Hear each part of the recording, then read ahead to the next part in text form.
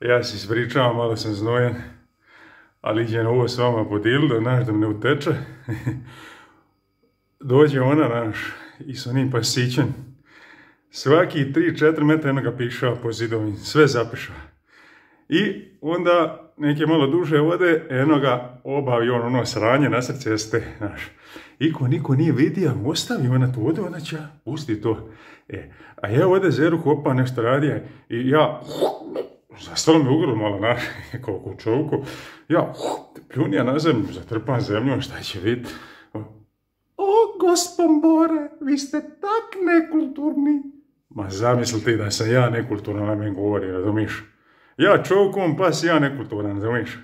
A ona, evo viš njene kulture i obraza. Šta, šta nije živla goru kod sebe, u Zagrebu, odakle gore, nego došla mene ovdje u Dalmaciji predikat ovdje, hoće mi po selu ovdje predikat u kulturi ponašanja. A nema, nema, nema čovjek živjeti od ovoga.